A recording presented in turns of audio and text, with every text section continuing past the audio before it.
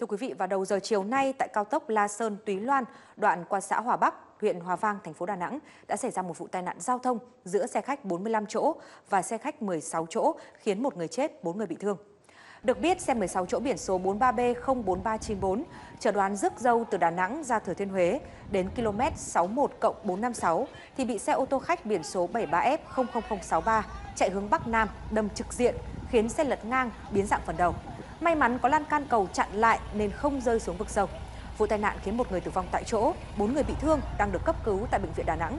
Tất cả đều là khách trên xe 16 chỗ. Xe khách bị vỡ kính trước, tài xế và toàn bộ hành khách an toàn.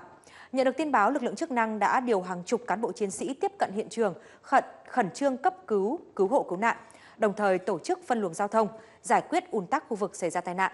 Nguyên nhân vụ việc đang được tiếp tục điều tra làm rõ.